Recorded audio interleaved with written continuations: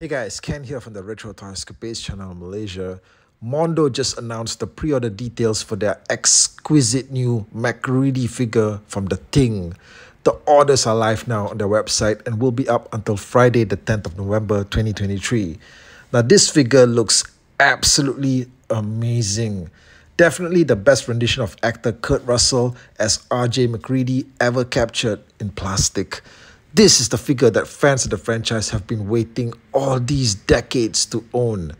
The Thing is without a doubt one of the all-time greatest sci-fi horror films ever made. I never saw it in the 80s when it first came out. I was a kid back then and I had no access to the movie. And it was only much later in the 1990s that I got hold of a VHS tape of the film. And since then, I've watched it again on every enhanced release they've put out, all the way to its Blu ray release.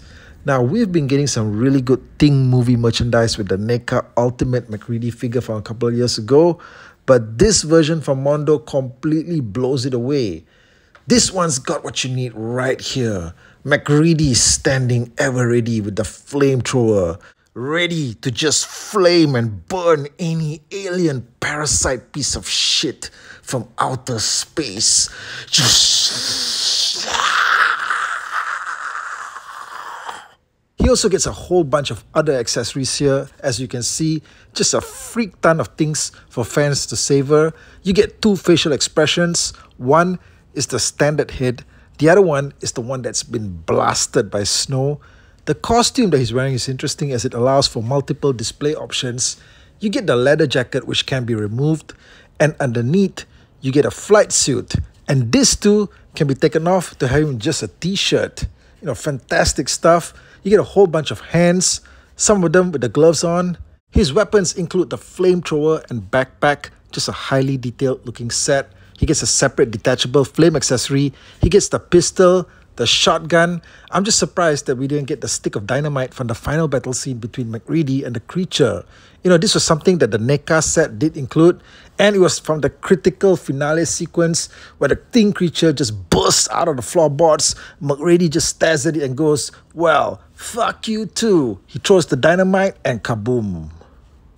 Now you get all of this stuff as part of the regular release edition which is going for $230 but there's also the exclusive edition which is retailing for $265 and it includes two of the thing creatures okay you get the spider monster and then you get the dog monster right yeah these two thing creatures are included with this particular set. They're all in scale and they look pretty freaking fantastic. Okay, I mean, the Norris spider creature, okay, this thing was also previously done by McFarlane, and we've also got like a version of the dog alien. I believe that came with SOTA's now playing sets from back in the day, but these are all scaled up to Mondo's 12 inch figure scale, something that fans have never had their hands on before, and the detailing on these alien creatures, my goodness, okay, these things look absolutely horrifying, all right? Some people, I suppose, may want the option of not having them around, okay? So I guess that's why they're part of an exclusive set, and maybe you just want MacReady, you just want a cool Kurt Russell figure, but these alien creatures, I gotta tell you honestly, man, they're just pulling out all the stops here with the detailing, and it just makes you wonder when it comes to this Thing franchise, also, what else could we be getting down the road? The Thing movie features a large cast of characters, but not all of them are suitable to be marketed as premium action figures, unless we're talking about a 3 and 3 quarter inch scale range like Super 7's reaction line. But Mondo definitely needs to give us Charles, as played by the legendary Keith David in the movie.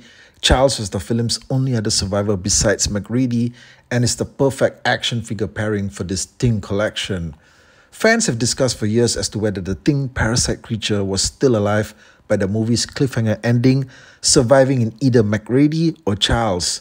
But just to let you guys know, 1991's The Thing from Another World comic book from Dark Horse already answered this question by serving as an official canon sequel to the film.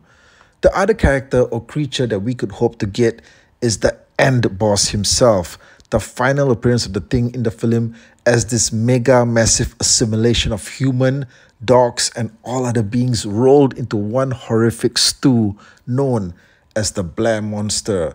McFarlane Toys released the first ever action figure version of the Blair Monster in the year 2000. I still have this thing sealed up, but I do plan to open it up for review soon, so look out for that one. This thing featured some truly frightful detailing, but was just way, way too short and small compared to the size of the creature that we saw in the film. There's just no way that this thing could be the size of a standard 7 inch figure, but it was what it was for the time. So Mondo could definitely give fans a version that's in scale, but holy shit, if that happens, then it's probably going to be the biggest Mondo release ever.